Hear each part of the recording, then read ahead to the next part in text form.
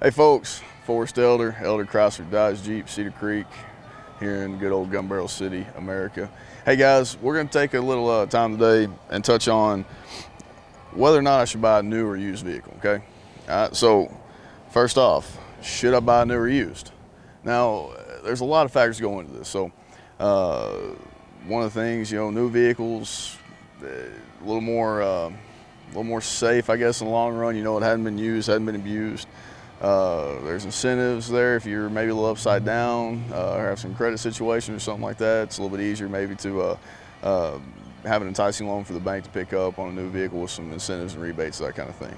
Uh, however, I also know that we don't, uh, Dodge Chrysler Ram Jeep doesn't make the exact vehicle that everybody wants. So the good thing about it is we have a great pre-owned selection and, and, you know, like I said, whether or not you go new or pre-owned, it's really not uh, one's better or worse or anything of the sort. It's really about what fits your needs, what makes makes most sense to you. Okay. Um, now, another question we get asked a lot is, you know, is this the right time to buy? Okay. Um, and when you're talking about is this the right time to buy, the once again, that, that's not really a, a, decision for us to make. Okay, uh, or not a decision we're in a position to make. Our job here is to make sure we provide all the information necessary for our customers so they can make the best possible decision for them and their families.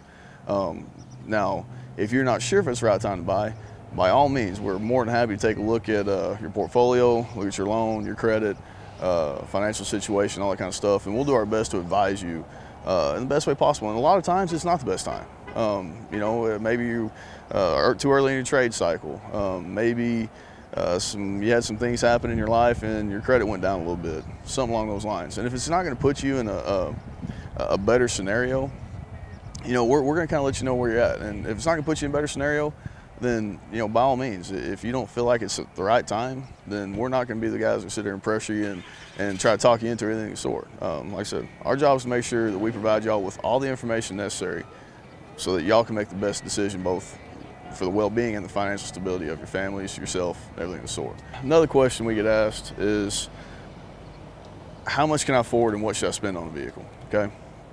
Um, you know, your house is paid for, you don't have a mortgage, uh, rent, or something like that, then obviously you can probably afford a little more a month than, you know, say the same person that does have a eleven or twelve hundred dollar mortgage or rent payment, whatever the case may be. So as far as that goes, the one thing I always say and, and always uh, kind of harp on, and, and my big thing is, is that you don't ever want to put yourself in a financial bind just to have something to drive. Now, by all means, I'm all about having something that's dependable. Make sure you get back and forth to work. Make sure it's going to keep you and your family safe. And dependability and safeness is a huge factor, in my opinion. However, you don't want to uh, overexert yourself just because it's a little bit nicer uh, equipment. You know, if we have one that's got, you know, cloth seats and no navigation, and one that's got leather navigation and it's going to be a $100 difference in payment and that $100 could make or break you, then there's nothing wrong with going with a vehicle that's a little more affordable, still has the functionality and do what needs to happen and, and, and makes it work and does it safely and comfortably,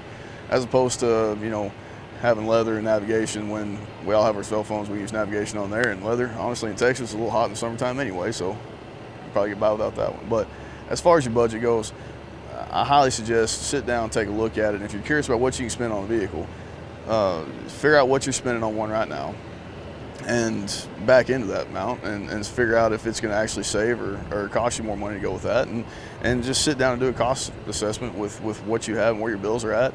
And you know most of the time you'll be able to see so hey you know I got an extra $40 a month I can spend here. I got you know an extra $60 a month or hey you know what? I really need to save 45 or $50 a month and, and to put me in a better situation. And if you can tell us kind of where you're wanting to be at and what you're trying to do we'll do everything possible to to uh, try to make sure we get that done for you guys. Because at the end of the day, like I said, our job is to take care of our customers. Um, we care about y'all, your family, and the last thing we ever want is for you to get out of this place, get out of our store, uh, get out of Elder Cedar Creek, and not be comfortable because you're in a uh, worse off financial situation than you came in for. Okay.